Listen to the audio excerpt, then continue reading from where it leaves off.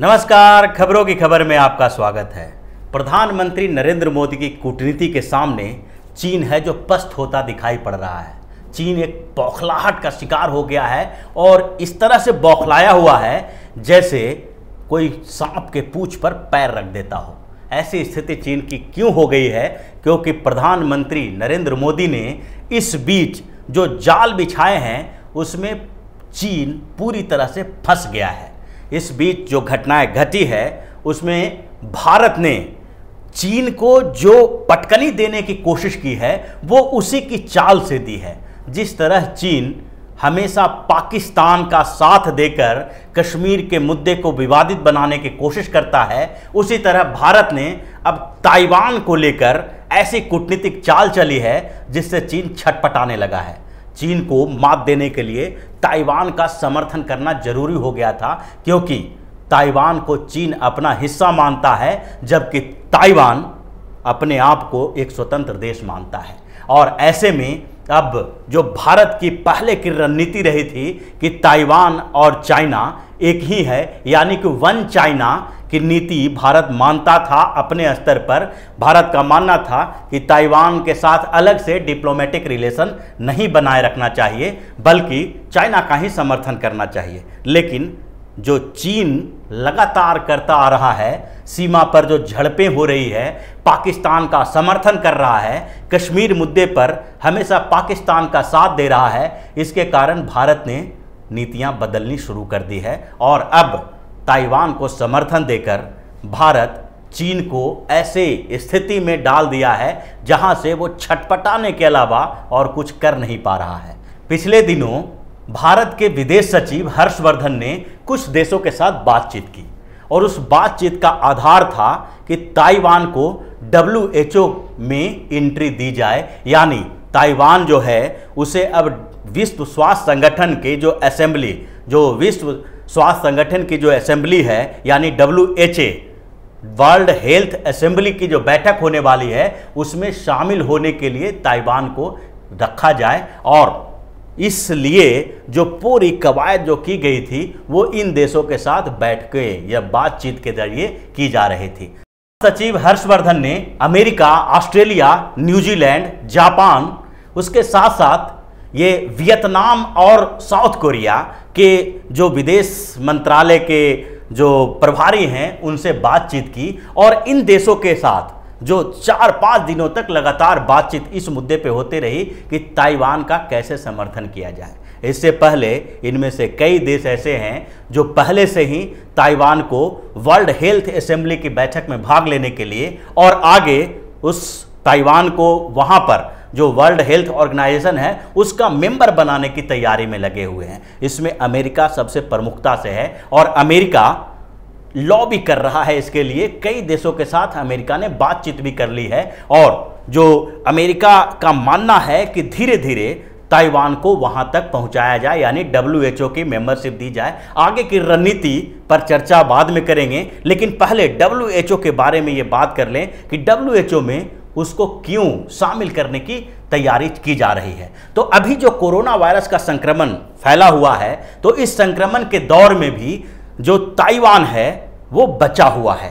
Taiwan में ज़्यादा ये संक्रमण फैला नहीं है। वहाँ अब तक 440 मामले आए हैं और उसमें सात लोगों की मौत हुई है। तो ये पूरी दुनिया में ये कौतूहल का विषय है कि WHO से किसी तरह की मदद ताइवान को मिलती नहीं है। वो अपने बल पर अपने रिसर्च के बल पर, अपनी स्ट्रेटजी के बल पर इतने बड़े खतरनाक वायरस का असर अपने देश में कम कर चुका है।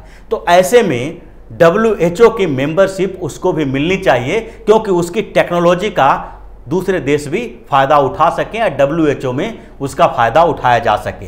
इसके लिए अमेरिका ने कई देशों से बात की। जापान, ऑस्ट्रेलिया, साउथ कोरिया, यहाँ तक कि फ्रांस, इन देशों ने इस बात पर सहमति जताई है कि डब्ल्यू में इसकी एंट्री होनी चाहिए, ताइवान की एंट्री होनी चाहिए और जो अभी बैठक होने वाली है डब्ल्यू की, यानी वर्ल्ड हेल्थ असेंबली की जो बैठक होने वाली है, उसमें ताइवान का प्रतिनिधित्व हो और ताइवान वहाँ पर अपनी एक्सपर्टीज का इस्तेमाल कर सके। इसके लिए अमेरिका को फ्रांस और यूके दोनों का साथ मिला हुआ है। फ्रांस यूके और America United Nation Security Council के परमानेंट मेंबर हैं। इसका मतलब है कि चीन और रूस के अलावा तीन जो परमानेंट मेंबर सिक्योरिटी काउंसिल के हैं, वो ताइवान के पक्ष में आ गए हैं। और अब भारत की जो रणनीति बदली है, उसमें भी अब अमेरिका को इसका सहारा मिल रहा है।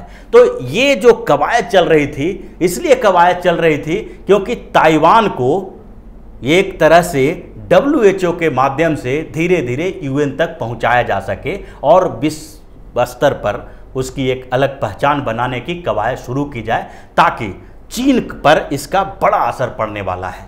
और इसके कारण चीन पूरी तरह से बौखला गया है। दिल्ली में जो चीनी दूतावास है, उसके प्रवक्ता जी रोंग हैं, उन्होंने भारत की आलोचना कर दी है और इस बात के लिए कहा है कि भारत एक तरह से ताइवान के मुद्दे पर स्पष्ट रूप से बोल नहीं रहा है, जबकि भारत की जो पहले नीति रही थी, वन चाइना की नीति रही थी, और अब ताइवान के साथ धीरे धीरे डिप्लोमेटिक रिलेशन बढ़ाने की कोशिश में भारत लगा हुआ है, जिसके लिए चाइना मतलब इस बात की, भारत की इस नीति की आलोचना करती है। तो इस तरह की जो स्थितियाँ पैदा हुई है, वो क्यों पैदा हुई? क्योंकि कुछ समय पहले आपने देखा होगा कि जब स्थितियाँ बदल रही थी, भारत और पाकिस्तान के बीच कश्मीर पर विशेष राज्य का दर्जा कश्मीर से खत्म किया जा चुका था तो ऐसे समय में भी चाइना ने पाकिस्तान का साथ दिया। कश्मीर के मुद्दे पर हमेशा चाइना पाकिस्तान का राग लापता है। यहाँ तक कि आतंकवाद के मुद्दे पर भी पाकिस्तान को चाइना का साथ मिलता रहता है। इससे धीरे धीरे भारत की जो नई सरकार है, यानी मोदी सरकार ने, ये रणनीति बदलनी शुरू कर दी थी। ये स्थितियाँ क्यों बदली है? क्योंकि पिछले कुछ समय से चाइना ने बिल्कुल भारत के खिलाफ आग उगलना शुरू कर दिया था। पहले तो चीन और पाकिस्तान ने मिलकर भारत की हर नीतियों का विरोध करना शुरू कर दिया। कश्मीर के मुद्दे पर जब कश्मीर से भारत ने विशेष राज्य का दर्जा खत्म किया तो उसके बाद भी चीन ने पाकिस्तान का साथ दिया, पाकिस्तान के सुर में सुर मिलाया। दूसरी तरफ़ जब आतंकवाद के मुद्दे पर पाकिस्तान को घेरने की बात आती है तो उस समय भी ये जो चीन है, वो भारत के खिलाफ बोलता है। अब ऐसे में भारत सरकार, जो अभी मोदी की सरकार है, उसने अपनी रणनीति बदलना शुरू कर दिया। जो चीन और भारत के बीच सीमा विवाद चलता रहता है, कुछ समय पहले भी डोकलाम में भारत और चीन के की जो सेना थी, वो आमने सामने डटी रही और बाद में दोनों के बीच समझौता हुआ। अभी हाल फ़िलहाल में भी जो सिक्किम और लद्दाख में भारत और चीन के सैनिकों के बीच झड़प हुई तो इन, इस तरह की जो स्थितियाँ उत्पन्न हो रही है, उसमें सामान्य रिश्ते होने के बावजूद भारत को कुछ ऐसे हथियार चाहिए जिससे कूटनीतिक तौर पर चीन के ऊपर दबाव बनाया जा सके।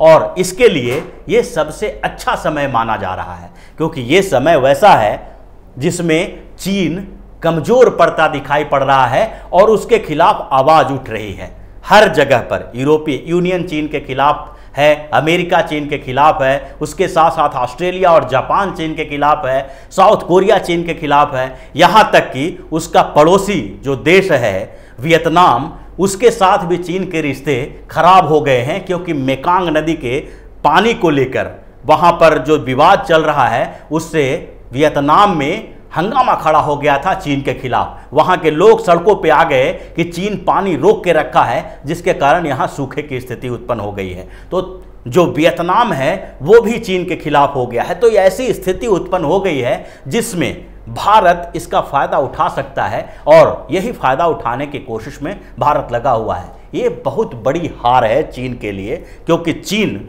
जिस तरह से ताइवान और जो मेन लैंड चाइना है, उसको एक मानता था। वन चाइना पॉलिसी के आधार पर चलता रहा है, जो उससे बहुत सारे देशों ने ताइवान के साथ डिप्लोमेटिक रिलेशन अभी तक बनाए नहीं थे।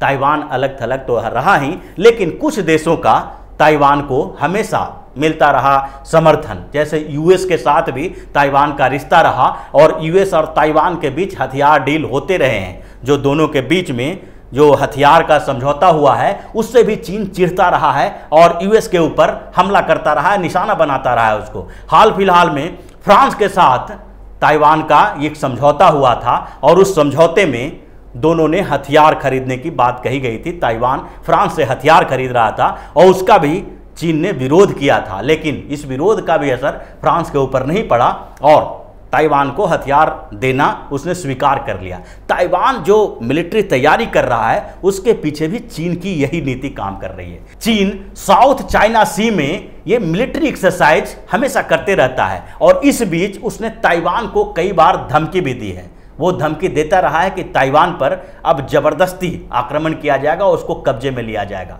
ये कब्जे में लेने की कोशिश जो चीन की है, उसको कम से कम उस कोशिश को नाकाम करने के लिए ताइवान को अपनी आर्मी की ताकत बढ़ानी होगी। और इसीलिए ताइवान जो कूटनीतिक समर्थन तो ताइवान को चाहिए ही साथ साथ में वो हथियार भी इकट्ठा कर रहा है और फ्रांस, उसके साथ साथ अमेरिका जैसे देशों से हथियार खरीद रहा है और अपना भी मिलिट्री एक्सरसाइज करते रहा है। तो इसके कारण दोनों के दी बीच जो चाइना और ताइवान के रिश्ते इतने खराब हुए हैं और उसमें भारत ने जब अब भारत इसमें कूद गया है तो चाइना की बौखलाहट और बढ़ गई है। इससे कुछ दिन पहले भी जो अमेरिका के विदेश मंत्री हैं, माइक पोम्पियो, उन्होंने भी कुछ देशों के साथ बातचीत की थी।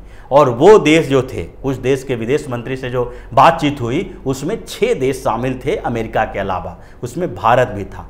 भारत के विदेश मंत्री डॉक्टर एस जयशंकर ने भी पोम्पियो से बात की और उसमें कोरोना वायरस के संक्रमण के साथ साथ चाइना को घेरने की पॉलिसी पर बातचीत हुई।